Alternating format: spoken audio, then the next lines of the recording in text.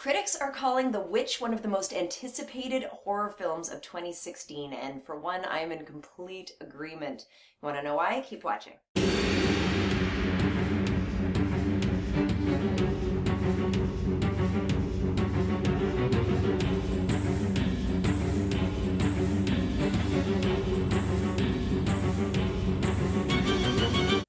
Hi guys, welcome to the Bat Cave. I'm your host, Lady Hellbat, and today I'm really excited to talk to you about Robert Eggers' The Witch. If you've been following the film festival circuit for the past year, you've probably heard of it. It premiered at Sundance and won its director, Robert Eggers, an award for Best Director. It also showed at the Toronto International Film Festival last summer, where I got to catch it, and I saw it with the Rue Morgue staff, and we were so blown away by it that we decided to put it on the cover of the January February issue of the magazine. The film is set in 1630 New England, where a man takes his Puritan family away from a village to start anew on the edge of a forest. Now, the father of this family, played by Ralph Ineson, and his wife, played by Game of Thrones Kate Dickie, they have four children.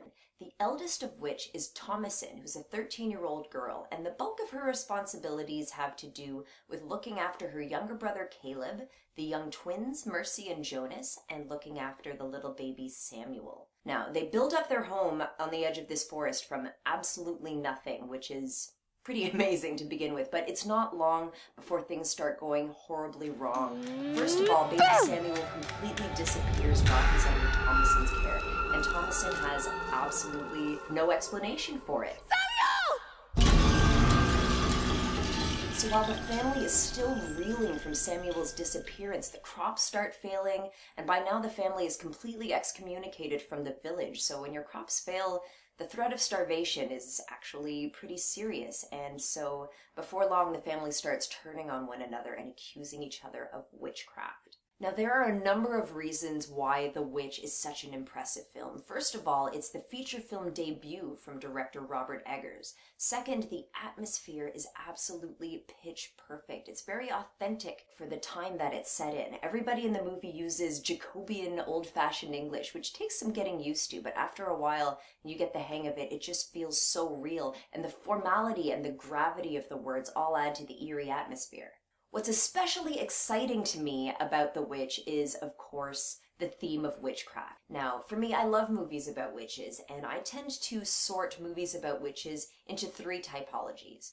Number one is the old hag, the obvious, the Disney witch with her warts and her broomstick and hee hee hee hee hee. Like she's the witch that we all think about when we think of witches. And in movies, we see her in all Disney movies, Wizard of Oz, Hocus Pocus, that kind of witch. The second typology of witches are the supernatural witches, and those are the kinds of witches that we're going to see in movies like Suspiria or The Craft. These are women who look like normal people, but they possess great supernatural power. And third, and my favorite, is the historical witch, which is to say, women who were wrongfully accused of witchcraft due to mass hysteria. And this is an actual historical fact it happened. Innocent women were burned or hanged or tortured, depending on where they were at the time. Now, these are the kinds of witches that we're going to see in movies like The Crucible, The Witchfinder General, movies that aren't actually about witches, but it's more about the mass hysteria that surrounded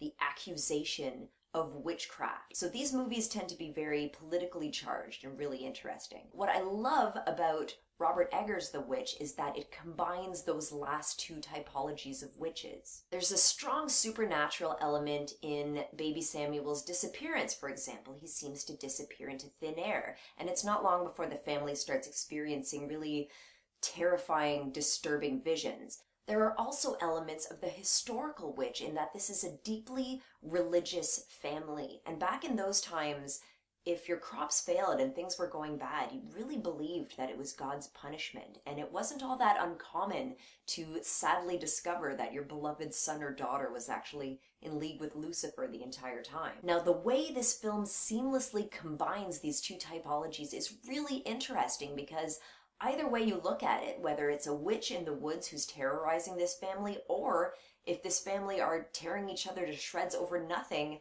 I don't know which is more terrifying. There's a lot more I'd like to say about the film, but I really don't see how I can without giving spoilers, and this film is so good that I just can't do that to you. However, I have a really good feeling that the Faculty of Horror podcast will tackle this film eventually, so maybe you'll have to wait for that. Overall, I just love this film. This is exactly the kind of horror film that I absolutely love.